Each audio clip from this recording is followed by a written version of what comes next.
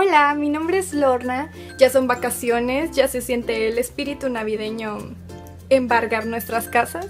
Así que unos amigos booktubers y yo hemos decidido hacer una colaboración para recomendarles a ustedes algunos libros que pueden gustarles en esta temporada vacacional. Y en esta ocasión les traigo la recomendación del libro de Atonement o su nombre en español Expiación de Ian McEwen.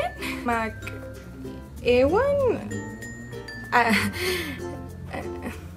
la novela nos sitúa en Inglaterra de 1935, en la casa de la familia Talis. La mamá que es súper despreocupada, el hijo mayor que está de viaje, la de en medio que se llama Cecilia, que tiene un pequeño romance con el hijo de una de las criadas llamado Robbie y la más pequeña que se llama Bryony.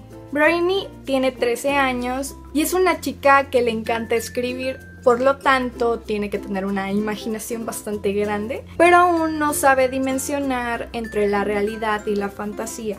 Y muchos dirán que no tiene absolutamente nada de malo ser así, que incluso puede ser más divertido ver la realidad como una ficción y más rollos filosóficos en los que no me voy a meter. Pero lamentablemente Bryony siempre está en los momentos menos indicados y en los que su mente le juega bastantes trucos y le hace pensar que están pasando otras cosas que en realidad no son. Siendo más concretos, me estoy refiriendo a que un día ella ve que su hermana se quita la ropa enfrente de Robbie. Así, así como si nada. Y se mete como a una fuente. Y bueno, cuando tienes 13 años como que ya medio sabes el rollo de la sexualidad y todo esto. Entonces su mente le empezó a dar vueltas y junto con más acontecimientos que van pasando a lo largo de la novela, Bryony se va forjando la idea que Robbie es un pervertido de lo peor y que quiere abusar de su hermana aunque en realidad ellos dos están enamoradísimos. Y pues realmente no hubiera tenido nada de malo que Bryony tuviera una idea errónea de lo que realmente era Robbie. Digo, muchos de nosotros lo tenemos hacia otras personas y seguimos con nuestra vida tranquilamente.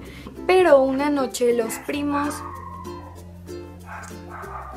Pero una noche los primos de los Talis se pierden y pues empiezan a buscarlos y durante este tiempo Lola, que es la hermana de los que se perdieron, es abusada sexualmente por un hombre y Bryony lo ve y jura y perjura y perjura que es Robbie. Y pues Robbie se va a la cárcel probablemente por un delito que él no cometió y la pobre de Cecilia tiene que pagar las consecuencias.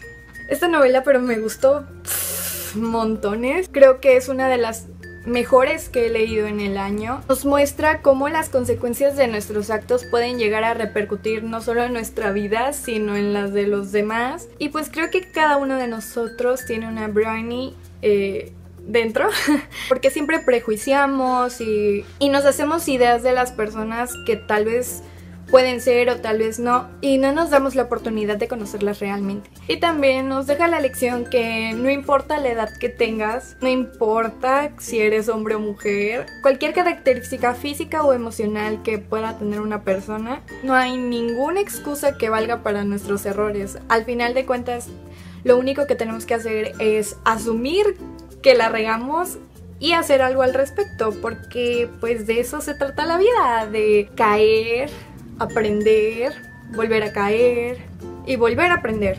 Tal vez la trama es un poco confusa, pero realmente quise sintetizarlo y dar el mínimo de spoilers porque quiero que las personas lean este libro y se den la oportunidad de maravillarse por la historia e incluso por la película, por algún lugar de por acá va a estar apareciendo el tráiler de la película en el que sale James McAvoy y Kira Knightley y Saoirse Ronan como Briony está ah, amo amo cómo interpreta esta personalidad que ha hecho despertar los más grandes y profundos sentimientos de odio en mí.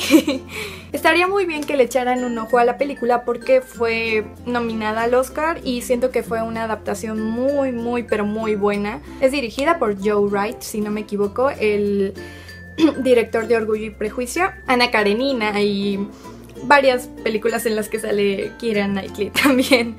Además que la banda sonora está Tiene la combinación del sonido de la máquina de escribir haciendo alusión a pues a la pasión que tiene Bryony por escribir música.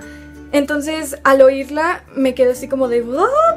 Se me hizo un concepto muy original e incluso creo que la película ganó como mejor banda sonora en los Oscars. Y ya, espero que les haya gustado mucho el video. Ya saben que me encanta leer sus comentarios y echar la platicadera un rato. Les mando un abrazote y yo los estaré viendo en el próximo video. Bye.